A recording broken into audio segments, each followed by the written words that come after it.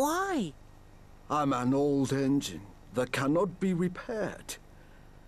I know what happens to old engines that cannot be really useful. Yes, sir. Now Thomas didn't dare tell his friends about Hero.